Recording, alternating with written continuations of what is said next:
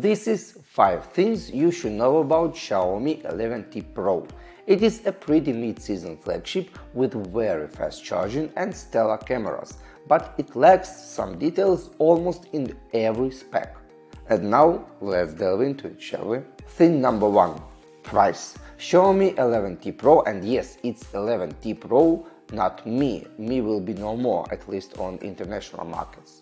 So 11T Pro will be priced about 7 or 800 bucks in two memory variants, which is important because phone does not support microSD expansion slot. And yes, 700 bucks sounds like somewhat cheap for a Pro phone, but it is a mid-season flagship and it shows. Thing number 2. Almost no surprises. 11T Pro has absolutely nothing breakthrough inside it. Everything is pretty much previous gen. Good, but not astonishing. Snap 888, not a plus model. RAM up to 12 gigs, ROM up to 256. 6.67 inch AMOLED screen, 120 Hz with 480 for sensor layer. Supports DC dimming but only for 60 Hz mode. Body is glass with some nice polished metal texture and oleophobic coating. Yes, that's not gradient, but for someone who hates gradients, it will be just fine. And let me get this straight. 11T Pro is a good phone. It's just not phenomenal. But MIUI 12 is.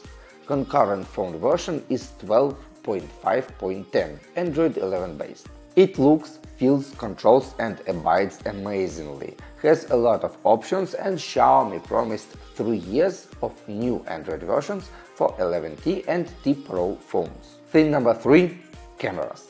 Base module is 108 megapixel Samsung ISOCELL HM2. It can work in two modes, and 108 megapixel one is very useful in outdoors, captures a lot of details and has very nice natural color and post-processing. 12 megapixel mode is more useful indoors. It is more aggressive but still looks nice. Night mode and HDR are nice too. Super wide module is great and micro camera is amazing. It has autofocus, it can capture videos and is supported both in Pro Photo and video mode.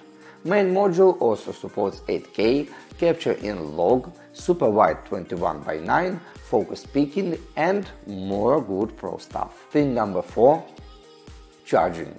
120 watts are enough to fill battery from 3 to 55% in 10 goddamn minutes and it is crazy fast.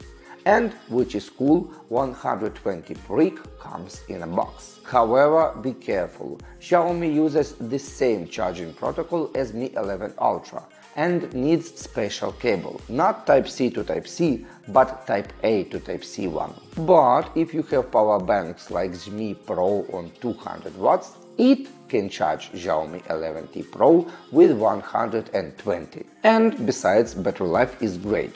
5000 mAh are just enough to go 7 hours in PCMark battery test on full brightness and up to 12 on a half brightness. Thing number 5 9 out of 10. Xiaomi 11T Pro feels almost like excellent phone, but with some pieces missing here and there. And yes, they are small, but there's a lot of them.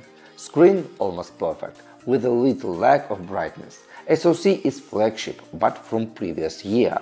Main camera is excellent, but it has no optical stabilization.